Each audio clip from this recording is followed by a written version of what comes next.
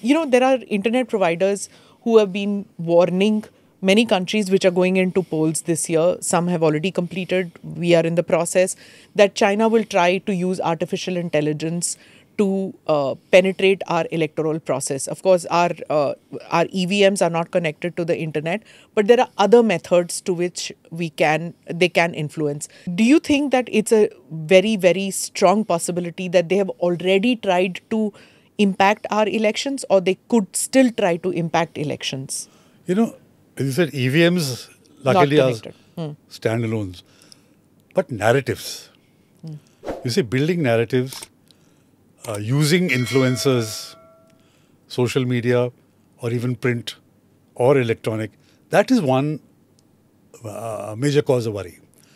Because, and fake news now, you know, uh, using artificial intelligence, Yeah. fake news showing somebody who's not there saying something which he never said, that is something which you have to be guard against.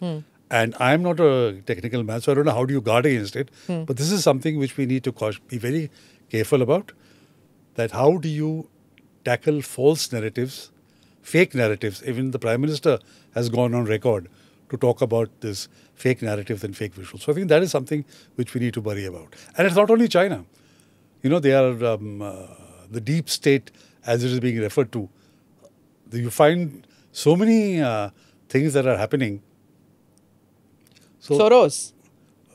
there could be so many others. Huh. The, so the India's upward trajectory is not exactly a comfortable situation for many countries, including China, uh, which did, d- has not factored in that India could be. And India's rise, whether it is in the G20, Quad, whatever, is not a comfortable situation. When we were talking about artificial intelligence, just yesterday, um, uh, there was a fake video out uh, of Amit Shah uh, of the Indian Home Minister, you know, where he's he's talking about certain things which he never did. It's a it's AI generated. It's fake.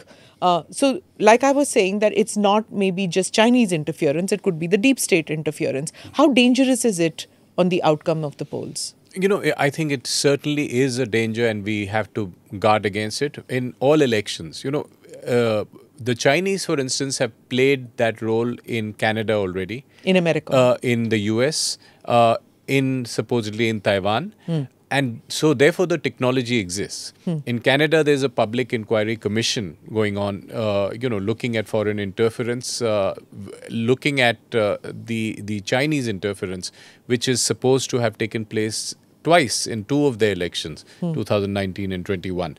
So I think uh, we have to guard against it, develop those guardrails, de- develop those cybersecurity methods, and those ways to, uh, you know, counteract this uh, possibility. Click here to watch the full episode.